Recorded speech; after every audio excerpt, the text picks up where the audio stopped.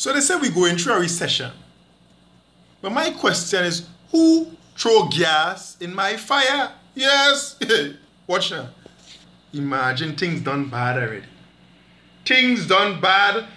Pressure to bust up pipe. And somebody go on and tell that fella to throw gas. Take your pitch oil, lost the keys to your brains, and go on and dash it. No else, know. not in the drain so you can run off. Not on the fig tree so you could burn it down after you done cut the fig and eat it. Not even to clean out the pain that must stick in the air bell. He gone and show. He ring down pitch oil Franco men in my fire. Well, watch now. Is he who get pepper.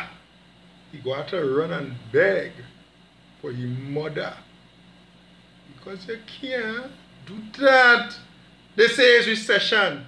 But I want to know who throw gas, petrol in my fire. Tell them I'm coming. So they better run for cover. They better run because watch now.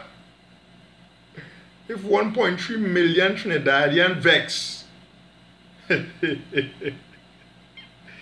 it's only carnival could save you. So they say it's recession. But the million dollar question is who the hell tell you he could throw petrol, throw gas in this man fire?